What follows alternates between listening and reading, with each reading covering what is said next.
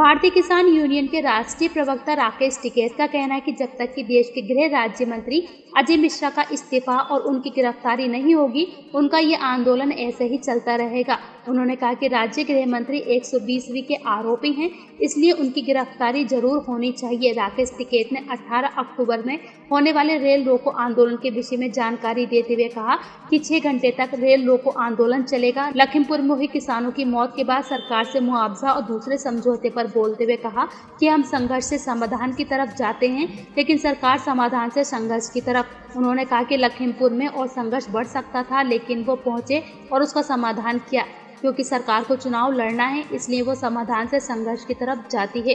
राकेश टिकैत इतने भर से नहीं रुके। उन्होंने प्रधानमंत्री मोदी को टारगेट करते हुए कहा कि जब इतिहास लिखा जाएगा तो उसमें होगा कि किसान आंदोलन में शहीद हुए 700 से अधिक किसानों की शहादत किस किस समय में हुई? इसके लिए देश के प्रधानमंत्री पूरी तरह से जिम्मेदार हैं और कहा कृषि कानून वापसी नहीं तो घर वापसी नहीं।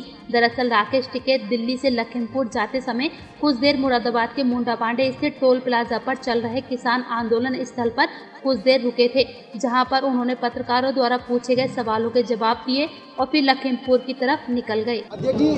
आप मुंडा पांडे टोल प्लाजा पर आए हुए हैं लखीमपुर खीरी के लिए आपका हाँ, जा रहे। लखीमपुर- हाँ। जाएँगे लखीमपुर खीरी जाएँगे कल वहाँ पे जो प्रोग्राम होता है जो रीति रिवाज से प्रोग्राम है सब लोगों का एक ही जगह इकट्ठा प्रोग्राम करा पाँच लोगों का।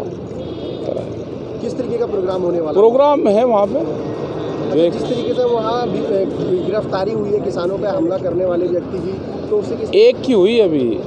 उसका पिताजी जो 120 बी का मुलजिम है देश का गृह राज्य मंत्री है उसका इस्तीफा नहीं हुआ उसकी गिरफ्तारी नहीं हुई। उनकी गिरफ्तारी और इस्तीफा दोनों अभी बाकी है। और जब तक नहीं होगा जब तक ये आंदोलन जारी रहेगा। आपका आह्वान भी रेल रोको का है? हाँ रेल रोको का अठारह तारीख का है। किस तरीके के के हर छः घंटे रेल रुकेगी भाई। किस किस किस किस चीज़ में छूट दी जाएगी? रेल में कहीं की छूट रहती। अधिकारियों को लेकर के जैसे कि अधिकारी की कोई स्पेशल ट्रेन आओगी तो भाई उसको बता देंगे। सर एक सवाल ये है कि जिस तरह से हरियाणा में वहाँ पर आप लड़ाई लड़कर आए फिर अब आप लखीमपुर की लड़ाई लड़ रहे हैं। एक के बाद एक नई लड़ाई शुरू हो रही है। हम जाते हैं संघर्ष से संघर्ष से समाधान की तरफ़ हम जाते हैं। सरकार समाधान से संघर्ष की तरफ़ आती है यही दोनों में फ़र्क तो है। संघर्ष ही बढ़ रहा है ना सर? लगातार हम। समाधान चाहते हैं उसका। हम्म, हम समाधान चाहते हैं। लखीमपुर खीरी में संघर्ष और बढ़ सकता था।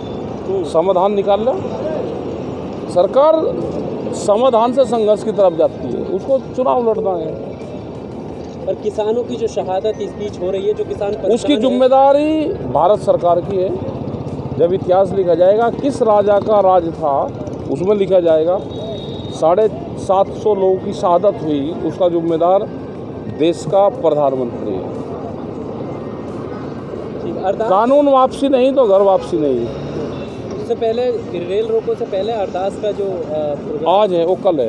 कल है। उससे उससे क्या कुछ कुछ मीटिंग कुछ फैसले लेने वाले हैं क्या है? तो कल बैठेंगे ना कल सब लोग रहेंगे तो वहाँ पर फैसले लेंगे।